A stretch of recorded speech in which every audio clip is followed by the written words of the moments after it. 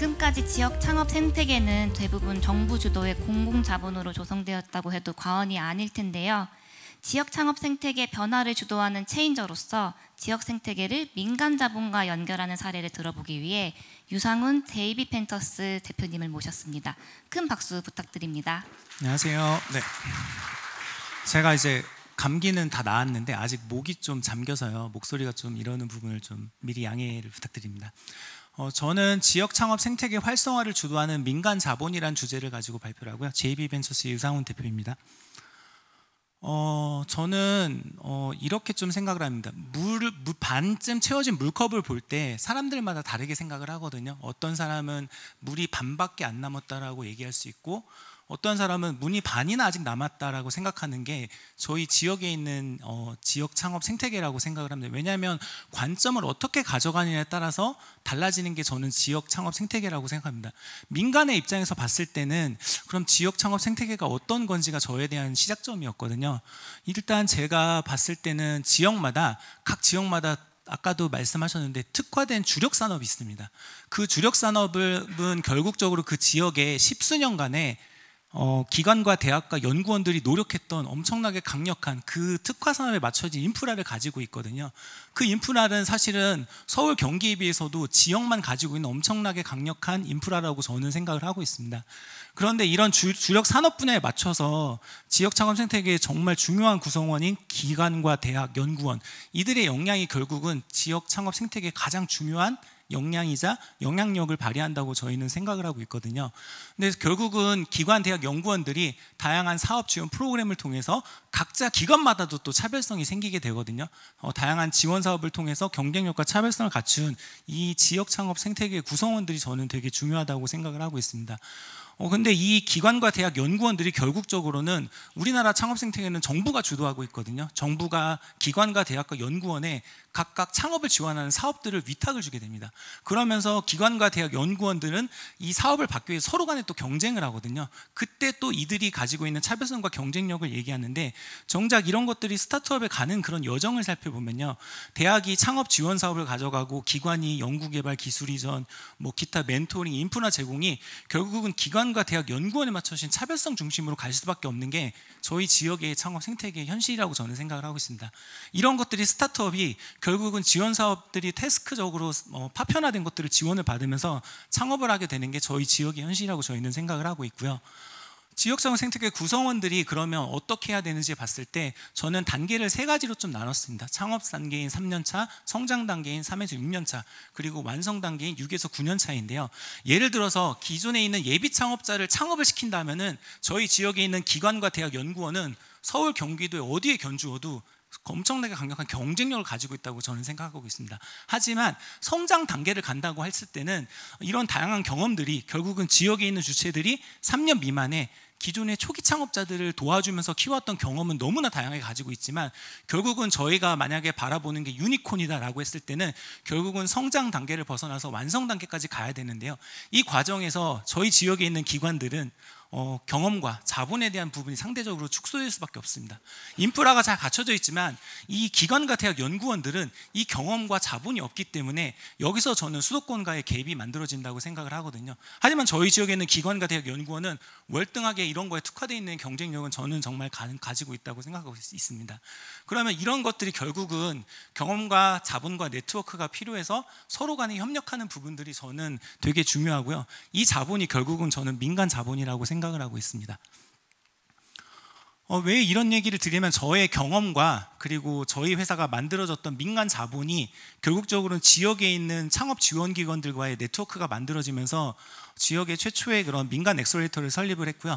만들어지자마자 저희가 지역에 없었던 최초의 팁스 운영사가 되고 그리고 지역의 본점 소재지 기준으로 어, 모태펀드를 운영하는 운영사가 없었는데 결국은 지역의 이제 열악한 이런 창업 상황에서도 경험과 민간 자본이 만나서 네트워크를 통해서 이런 성과를 창출했던 경험이 있습니다. 이런 부분들이 될 수 있는 이유는 제가 2011년에 지역의 창업가로 시작해서 2016년에 한화의 회사를 매각했던 경험을 가지고 있거든요. 근데 여기서 다른 게게 뭐냐면 각각 이 기관들은 지역에 대한 진정성을 가지고 있습니다. 지역이 정말 잘 돼야 된다. 지역에서 기회를 찾아야 된다. 이런 진정성이 결국은 되게 강력하게 바인딩이 되면서 이런 벤처 생태계를 좀 더 높일 수 있는 그런 영향력이 만들어질 수 있다고 저희는 생각을 하고 있습니다. 그래서 이런 창업을 했던 경험을 가지고 창업자를 바라보면서 창업 자였을 때 지원을 받았던 산학연의 인프라와 지원 사업들을 알고 있기 때문에 후배 창업자들에게 좀 더 심리스하게 그런 것들을 연결하면서 빠른 성장이 되고요. 그 과정에서 정말 가능성 있는 기업들은 저희가 가지고 있는 직접 PI를 가지고 직접 자본으로 투자하고 팁스를 만들어주면서 유망한 기업들을 초기에 많이 만나면서 지역 산학연과 협력하는 것들이 워킹이 되면서 이런 성과를 좀 만들어 가고 있습니다. 어, 결국은 제가 생각하는 거는 민간 자본과 이 산학연을 연결할 수 있는 네트워크 프로그램을 중심으로 가야 됩니다. 창업자가 필요한 그런 태스크 중심으로 지원되는 게 아니라 결국은 유니콘을 키우려고 하면 초기에 맞춰서는 지역에 있는 민간 자본을 중심으로 산학연이 연결되는 네트워크 프로그램이 저는 반드시 필요하다고 생각을 하고 있고요. 왜 필요하다고 생각하면 보통 이제 초기에 투자자들이 투자하게 되면은 아이디어 팀빌딩 단계에서 시제품을 만들고 진입하는 과정에 보이지 않는 여러 가지 변수들이 있습니다. 이런 부분들을 어, 산학연이 가지고 있는 태스크가 결국은 자본과 연결될 수 있는 부분들에 대한 네트워크적 역할을 하게 되면은 초기 스타트업이 된 단기간에 빠르게 성장할 수 있고요. 그런 것들을 연결할 때 저는 특화 산업 인프라를 반드시 민간 자본이 연결할 수 있는 하나의 네트워크가 필요하다고 저는 생각하고 있습니다. 어, 특화 산업 인프라는 크게 하드웨어와 소프트웨어로 볼 수 있고요.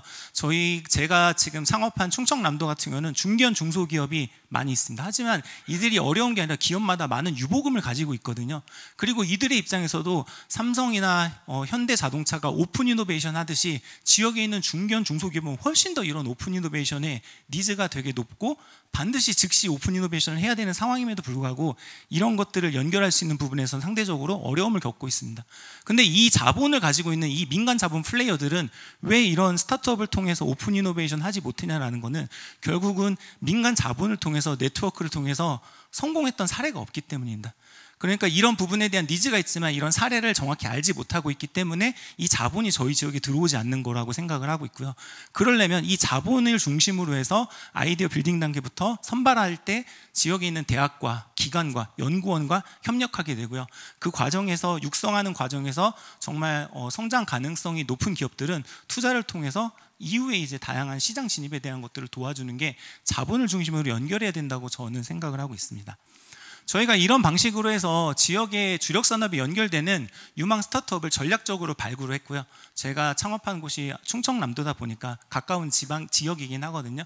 저희는 2차 전지 자동차 부품에 관련된 거, 반도체 디스플레이에 대한 기업들의 지역에 있는 중견 중소기업이 많이 있습니다. 그리고 연구원도 있고요. 산업 단지도 있고 인프라도 있고 이거를 사업할 수 있는 기술 개발 과제도 있거든요. 테크노파크를 중심으로 뭐 수요 기술, 뭐 기술 개발 사업 이런 사업들이 있는데 그런 것들을 전략적으로 우리 지역에 있는 섹터에 맞는 그런 플레이어들을 찾기 시작했습니다. 그래서 첫 번째로 찾은 거는 2022년에 인클이라는 회사를 저희가 찾았고요. 인클이 가지고 있는 서비스는 산업 데이터 플랫폼입니다. 결국은 제조 현장에 있는 smart factory 하려면은 디지털화가 필요한데 이런 기술력과 제품을 가지고 있는 스타트업을 발굴해서 저는 바로 어, 지역에 있는 공장을 운영하고 있는 오너분들을 찾아가서 이런 솔루션을 만들어 어, 만들어진 거를 보여줬고요. 그 플레이어가 다시 또 자본을 가지고 잉크를 투자하게 됐습니다. 그래서 저희가 잉크에 투자하고 나서 어, 사실 10개월 이내에 35억 원의 투자가 됐던 것들은 제가 얘기 드렸던 민간 쪽에 있는 시장에 플레이하고 있는 플레이어들과 연결하면서 그런 성과가 가속화됐기 때문입니다. R&D나 제품을 만드는 부분은 스타트업이 하고 있지만 소재, 부품, 장비 쪽은 반드시 수요 기업에 대한 그런 시장에 대한 인터뷰가 필요했고요. 그런 것들이 연결이 되자마자 투자 결정도 되게 빨라지고 그런 투자를 유치하다 보니까 또 다른 민간 자본 이 들어오게 되면서 단기간에 35억 투자를 만들어냈던 그런 경험을 하게 됐습니다. 어, 작년 같은 경우는 S 머티리얼이라는 실리콘 음극 소재 기업을 저희가 찾았고요. 이 기업도 마찬가지로 지역에 있는 중견 기업과 그리고 연구소에 이런 기술에 대한 수요라든지 quality에 대한 것들을 screening을 통했고요. 이후에 또 저희 지역에 2차 전지에 관련된 플레이하고 있는 중견 기업에 인터뷰를 했었고요. 그 과정 와 이거는 충분히 가능성이 있다 해서 역시나 이들이 또 민간 자본이 또 들어오게 되면서 어, 저희가 투자한 이후에 똑같이 공교롭게도 35억 원의 투자를 이뤄냈습니다. 그 부분 뭐냐면 지역이 가지고 있는 산 산학연 인프라를 가장 잘 활용할 수 있는 플레이어가 민간 자본을 가지고 협력을 하면서 되는 과정이 저는 반드시 필요하다고 생각합니다. 저희가 만들어진 성과가 결국은 산학연의 창업을 지원하는 기관들이 정말 중요해 볼 수 있는 실적이자 성과이거든요. 이런 부분들을 단독으로 하기가 되게 어려우니까 결국은 유니콘을 만드는 아젠다를 가지고 있다고 하면은 어, 이런 자본 중심으로 네트워크 프로그램이 반드시 필요하다고 저희는 생각하고 있습니다. 그래서 이런 것들을 계속 하게 됐을 때 경험치가 쌓이고 이 경험이 insight가 돼서 역량이 되면은 이런 것들을 되게 가속할 수 있는 그런 시장이 만들어진다고 저는 생각을 하고 있습니다. 그래서 결론적으로는 이런 것들에 중요하게 binding이 되려고 하면 서로 간에 대한 신뢰와 그리고 이 업에 대한 파트너십이 저는 되게 강력해질 필요성이 있다고 생각을 하고 있습니다. 어, 아마존의 flywheel을 빗대어서 얘기했는데요. 이 발굴과 보육 투자에 대한 경험을 중심으로 얘기를 드리면 이 점선으로 원형선이 저는 민간 자본이라고 생각합니다. 민간 자본을 가지고 발굴을 시작하고 투자 투자를 하고 그리고 그 다음에 보육했던 그런 경험치가 축적이 되고 민간 자본을 통해서 open innovation에 대한 경험치를 지역에게 연결해 주면 이 open innovation이라는 민간 자본이 들어오게 되면서 그 회사가 value-up이나 혹은 exit를 하게 되면 이 성과가 경험치가 됩니다. 그 경험치를 저는 민간으로서는 반드시 지역에 있는 기관과 대학과 연구원과 협력하는 구조를 만들어 줘야 됩니다. 이런 경험치들이 결국은 다시 발굴할 때 기존의 open innovation의 경험에 좋은 경험을 했던 지역 외에 대중견 기업들이 또다시 많은 capital gain을 만들어주고요. 그럼 저 점선이 이제는 좀 더 두꺼워지고 강력해지겠죠. 그럼 또 발굴에 대한 부분들을 훨씬 더 지역에 있는 수요처와 같이 발굴하게 되면서 open innovation을 만들 수 있게 됩니다. 그럼 그것들이 또다시 보육이 더 강력해지게 되고 open innovation 경험도 플레이어가 다양해지면서 더 두께가 두꺼워질 수 있고요. 그리고 실제적으로 수요처와 같이 이런 것들에 대한 민간 자본을 형성해서 value-up과 exit를 하게 되면은 더 많은 경험치가 지역에 있는 산학연과 축적이 될 수 있고 그럼 결론적으로 또 다른 이런 사례들이 지역에 있는 대중견 기업에 흘러 들어가면서 많은 민간 자본이 지역의 벤처 스타트업 생태계로 들어올 수 있는 부분들을 만들려면 결국은 민, 민간 자본을 중심으로 스타트업의 라이프 사이클에 맞춰서서 두꺼워지고 영향력이 생기고 insight가 강력해질 수 있도록 지역을 변화시킬 수 있는 그런 장점된 생태계를 만들 수 있다고 저희는 생각을 하고 있습니다.